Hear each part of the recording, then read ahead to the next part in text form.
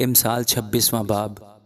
जिस तरह आयाम गर्मी में बर्फ़ और दरों के वक्त बारिश उसी तरह अहमक को इज़्ज़त से नहीं देती। जिस तरह गोरिया आवारा फिरती और अबाबेल उड़ती रहती है, उसी तरह बेसबब लानत, बेमहल है। घोड़े के लिए चाबुक और गधे के लिए लगाम, लेकिन अहमक की पीठ के लिए छड़ी है। अहमक को उसकी हमाकत के मुताबिक जवाब न दे, मुबादा तो भी उसकी मानद हो जाए। अहमक को उसकी हमाकत के मुताबिक जवाब दे, मुबादा, वो अपनी नज़र में दाना ठहरे। जो अहमक के हाथ पैगाम भेजता है, अपने पाँव पर कुल्हाड़ा मारता और नुकसान का प्याला पीता है। जिस तरह लंगड़े की टांग लड़खड़ाती है, उसी तरह अहमक के मुँह में तमसील है। अहमक की ताजीम करने वाला गोया जवाहिर को पत्थरों के ढेर में रखता है। अहमक के मुँह में तमसील, शराबी के हाथ में चुभने वाले कांटे की मानंद है। जो अहमकों और राह गुजरों को मजदूरी पर लगाता है, उस तीर अंदाज की मानंद है जो सबको जख्मी करता है। जिस तरह कुत्ता अपने उगले हुए को फिर खाता है, उसी तरह अहमक अपनी हमाकत को दोहराता है।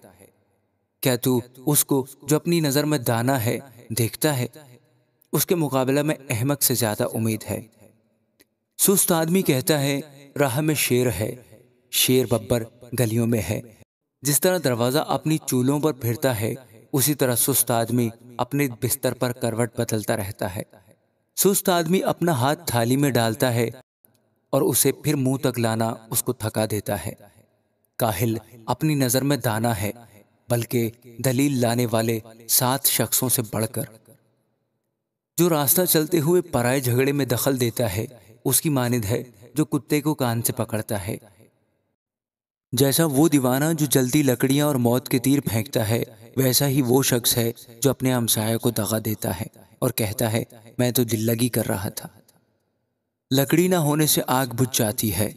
सो, जहाँ गीबत गो नहीं, वहाँ झगड़ा मौकूफ हो जाता है। जैसे अंगारों पर कोयले और आग पर ईंधन है वैसे ही झगड़ालू झगड़ा बर्पा करने के लिए है।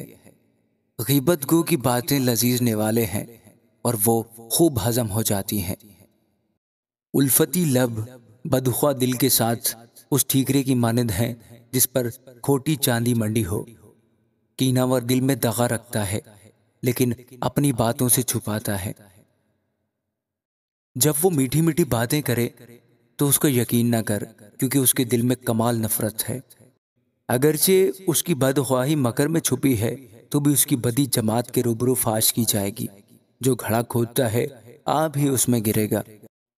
और जो पत्थर ढलकाता है, वो पलटकर उसी पर आएगा। झूठी ज़ुबान उनका कीना रखती है, जिनको उसने घायल किया है, और चापलूस मुँह तबाही करता है।